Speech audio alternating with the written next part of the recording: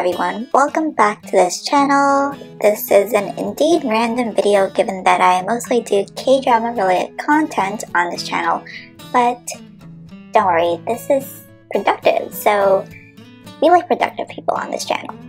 Anyways, this is a very, very, very quick tutorial on Notion, specifically just this planner template setup that I made and I want to share with you all. So yeah, make sure to watch until the very end because I will show you how you can quickly duplicate this template if you're lazy or you're not very into coding.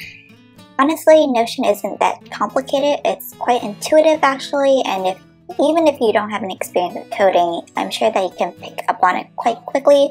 There are tons of resources available on the interweb, such as the Reddit community and other tutorials, blogs, whatnot but I just want to quickly share my template with you all because it's what's been working for me. Okay, so let's get started. Planner setup with me.chibi on Notion. Okay, so this is the planner template that I'm using currently. As you can see, it's a list view where you can have the year and then you can have the months as the list items.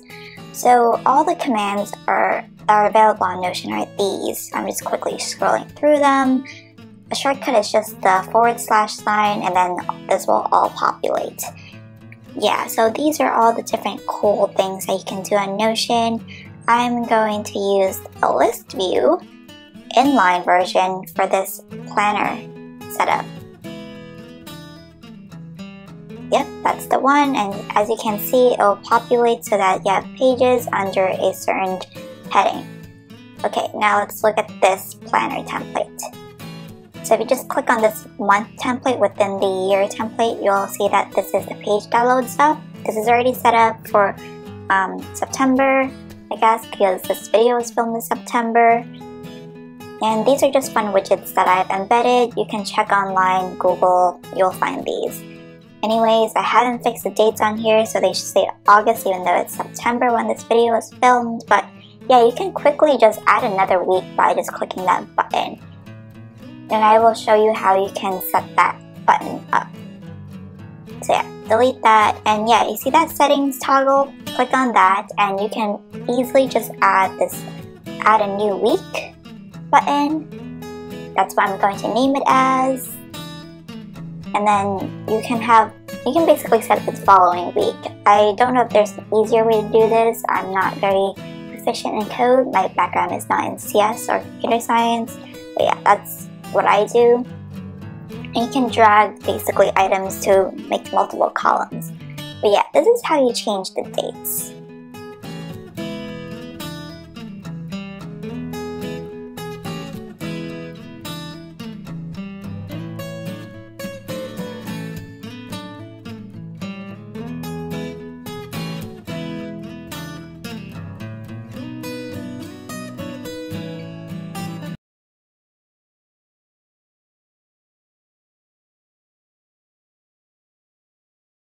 I finished changing about the dates. Basically, that's how it works. And yeah, you have to do items in each and you can do whatever. You can change it to regular text or whatever. And again, these are just widgets.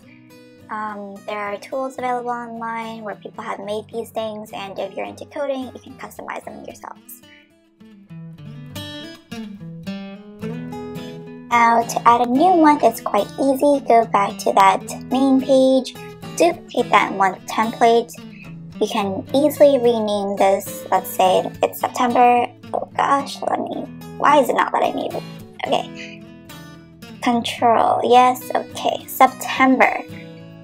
So let's say we call this September. Now click into it. I like opening it as a page. And you can change the cover, background, and everything else. I'm not going to do the dates again because it's already done. But yeah, you can change the color of the text background. Let's say you want to do it for green. I'm not going to change it for every one of them right now, but yeah. Let's say we want to change the icon. You can choose the emojis available. You can upload an image or you can link an image. So what I like to do is go on Giphy. So you can use stickers on Giphy. I like the transparent background, so that's what I like to do. And this creator has a lot of cute images. And let me find one that's kind of square because I really hate resizing GIFs. It's not fun. Let's say I like the smiley face, so I copy the link, go to the icon, and just link it. Submit, and voila, a cute smiley face. And if I really want to, I could change the cover. I don't feel like it right now. I kind of like the grid setup but they have a lot of options available. You can upload your image as well, link again, or unsplash for stock images. And yeah, that's kind of a very quick intro to Notion, basically how you can customize the setup I already have made. If you want to use this setup, here is how you can duplicate it. So look in the description box for the link and once you open that up, you can click duplicate and you can just copy this database over to your Notion. So yeah, I hope you enjoyed this video.